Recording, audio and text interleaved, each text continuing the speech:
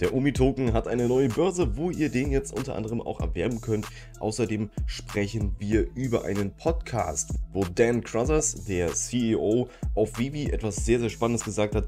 Und außerdem berichtet Coindesk mit 2,9 Millionen Followern allein auf Twitter über Vivi. Das und so viel mehr jetzt in diesem Video. Willkommen an Bord, ich bin's, dein Captain, dein Vivi-OG für die wichtigsten Vivi-News. Heute gibt es auf jeden Fall wieder einige sehr interessante News, deswegen bleib auf jeden Fall unbedingt bis zum Ende des Videos dabei, dass du wirklich jede Information mitnimmst. Heute ist es wirklich proppevoll, deswegen würde ich sagen, starten wir auch direkt rein in die News. Ich hatte es in meinem letzten Video schon angesprochen und zwar geht es nämlich hier um die zum 100-jährigen Disney-Jubiläum Comics, die sozusagen hier mit ihren Special Covern rauskommen, mit den Disney-Variant Covern. Und hier sehen wir von Amazing Spider-Man Hashtag 17 jetzt auch tatsächlich die Cover. Sie sind offiziell vorbestellbar. Rechne aber nicht damit, dass du es vor dem 30. Januar 2023 bekommst, denn dort ist es nämlich erst dann lieferbar. Das heißt, ihr bestellt es jetzt vor und bekommt es dann erst im Januar nächsten Jahres. Aber nichtsdestotrotz könnte das Comic auf jeden Fall sehr interessant werden. Außerdem hat der News-Channel Coindesk über Vivi berichtet, zwar nicht exklusiv in einem Artikel, aber sie haben auf jeden Fall Vivi in einem Artikel zu New York Comic Con mit aufgegriffen. Als natürlich offizieller Partner von Marvel, was Comics und NFTs angeht, durfte Vivi natürlich an dieser Stelle auch nicht fehlen. Dementsprechend wurden sie hier unter Comic Books and Augmented Reality mit einem ja, kleinen Artikel auf jeden Fall hier versehen, was ich persönlich sehr, sehr gut finde, wenn man bedenkt, wie viele Follower einfach Coindesk hat und wie angesehen tatsächlich auch deren Artikel in der Community sind.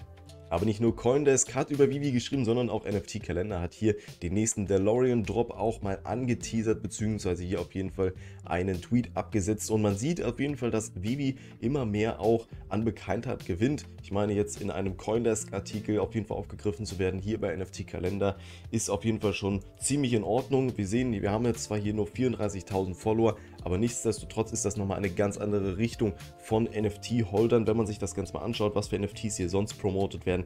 Ja, da sticht Vivi doch auf jeden Fall sehr, sehr gut raus. Das heißt, hier bekommen wir dann auch vielleicht in Zukunft noch deutlich mehr Aufmerksamkeit in der restigen NFT-Community, die dann vielleicht doch auch mal aufmerksam wird auf Vivi und sieht, was Vivi dort eigentlich macht. Daniel Crothers war unter anderem in einem Podcast zu Gast und das schon am 30.09.2022, das heißt in etwa schon vor drei bis vier Wochen. Und ich habe persönlich mir tatsächlich den Podcast nicht angeschaut, was an dieser Stelle ein großer Fehler war, denn hier wurde etwas nämlich sehr Interessantes gesagt und ich würde sagen, das schauen wir uns auf jeden Fall jetzt mal ganz kurz an. You know, there's going to be a massive amount of sort of interactive content And really moving into 2023, like I think people are going to see the quality of our collectibles really step up massively in terms of like the detail, the quality, you know, even if it was like let's say it was Jurassic Park, you know, it might be on a base and there could be flowing water and, and you know little shrubs blowing in the wind. It's really about taking that to the next level. Also ihr habt auf jeden Fall schon äh, gehört, Vivi hat vor, auf jeden Fall in 2023 richtig aufzufahren, was die Qualität der Collectibles angeht. Ich fand, man hat es jetzt auch schon beim letzten Miles Morales Job sehr gut gesehen, dass die Qualität sehr, sehr, sehr gut war einfach und auch bei vielen anderen Star Wars Jobs war auch die Qualität relativ gut schon. Aber dass sie 2023 auf jeden Fall nochmal ein großes Update bekommen soll, ist natürlich auch sehr, sehr wichtig, denn die Konkurrenz bzw. auch viele andere NFT Unternehmen bzw. Projekte fahren natürlich auch ihre Quality hoch und da muss natürlich Vivi definitiv nachziehen und hier wird es auf jeden Fall 2023, glaube ich, ziemlich, ziemlich krass werden mit MCP, UUP, dann auch noch besserer Qualität von den ganzen Collectibles und ich bin mal sowieso gespannt, was 2023 der Fokus sein wird, was für eine bestimmte Art von Collectibles sie rausbringen wollen und so weiter und so fort. Aber du kannst mir auf jeden Fall mal sehr gerne unten in die Kommentare schreiben, wie du bis jetzt auf jeden Fall erstmal die Qualität von den Vivi NFTs findest. Im Allgemeinen jetzt nicht von einzelnen, denn es gibt einfach manche NFTs, die sind einfach, ja, einfach sehr, sehr schlecht von der Qualität. Das kann man einfach so nicht anders sagen. Aber kannst mir auf jeden Fall mal gerne deine allgemeine Meinung zu der Qualität NFTs unten reinschreiben. Ansonsten würde ich sagen, geht's ab ins nächste Thema. Und bevor wir ins nächste Thema springen, würde ich dich auf jeden Fall an dieser Stelle ganz kurz daran erinnern, dem ganzen Video ein Like zu geben, wenn es dir bis jetzt gefallen hat, denn das unterstützt mich auf jeden Fall enorm und pusht das ganze Video noch mehr an andere Leute auf YouTube.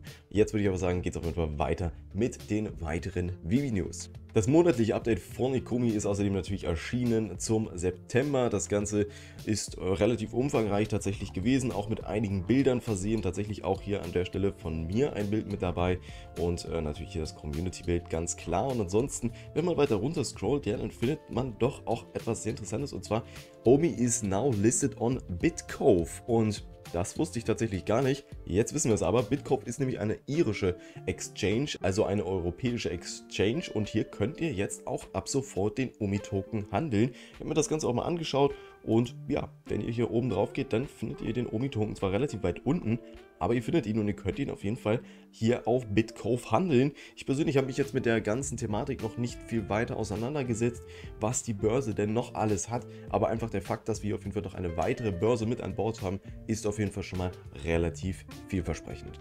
Wenn du in Zukunft außerdem immer auf dem Laufenden bleiben möchtest, was das Thema Ecomi angeht und auch den Omi-Token, dann abonniere auf jeden Fall sehr gerne meinen Kanal, denn so erfährst du auf jeden Fall am schnellsten und als erstes die nächsten News zum Ecomi-Token.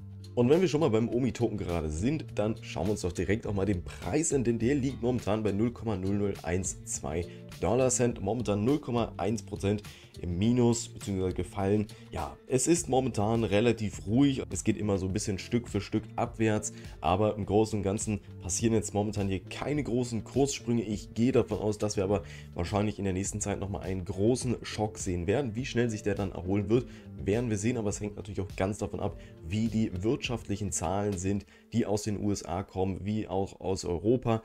Und äh, das wird auf jeden Fall sehr entscheidend sein, was natürlich auch die Geldmenge betrifft, die hier in das ganze Projekt reinkommt oder dann halt auch wirklich rausgezogen wird von großen Leuten, beziehungsweise von vielen auch kleineren Fischen, die dann einfach Angst haben, noch mehr zu verlieren.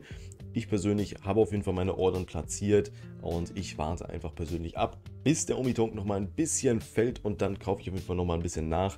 Und ansonsten betreibe ich eigentlich durchgehend DCA.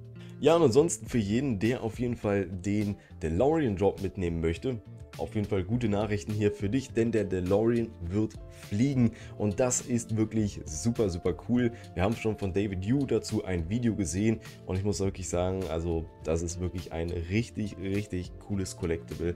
Das kann man tatsächlich nicht anders sagen und ich bin auf jeden Fall gespannt, was wir für noch coolere Collectibles hier sehen werden und für jeden, der jetzt sagt, hey, ähm, jetzt bekommen wir schon den zweiten DeLorean, wir haben doch aber schon einen. Ja, es gibt aber tatsächlich drei DeLoreans und dementsprechend werden wir hier auch noch irgendwann den dritten sehen. Das heißt, macht euch auf jeden Fall bereit, dass wir irgendwann nochmal den dritten sehen. Und ähm, an dieser Stelle nur ein ganz kleiner Hinweis für euch da draußen, aber das werden wir auf jeden Fall noch sehen. Darauf könnt ihr auf jeden Fall wenden. David Huber außerdem zu Gast bei Randy Chavez 69 Stunden Livestream, was erstmal überhaupt ziemlich, ziemlich krass ist hier, was Randy hier veranstaltet.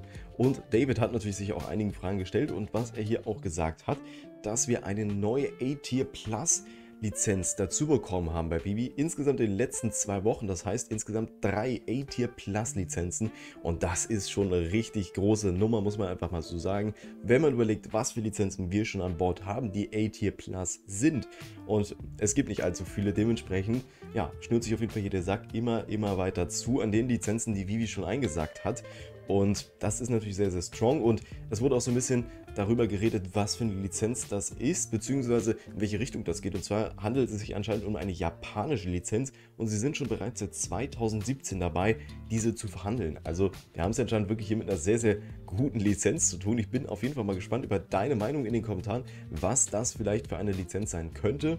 Und ansonsten haben wir auf jeden Fall auch wieder mal die SpaceX-Kappe mit dabei die auf jeden Fall hier auch, glaube ich, wieder ein bisschen für Spekulationen gesorgt hat, ob das Ganze jetzt ein Zeichen ist auf die anderen zwei Lizenzen, die wir da unterschrieben bekommen haben oder nicht. Das wissen wir natürlich an dieser Stelle nicht, aber das auf jeden Fall hier aus dem ganzen Stream bis jetzt. Und das war's an dieser Stelle mit den ganzen Vivi News für den heutigen Tag. Wenn dir das ganze Video auf jeden Fall gefallen hat, dann gib dem ganzen Video sehr gerne ein Like. Und ansonsten bedanke ich mich auf jeden Fall bei dir da draußen fürs Zusehen und wünsche dir da draußen noch einen wunderschönen Morgen, Mittag oder Abend. Ich wünsche dir auch ein schönes Wochenende und bis dahin, dein Captain. Ciao, ciao.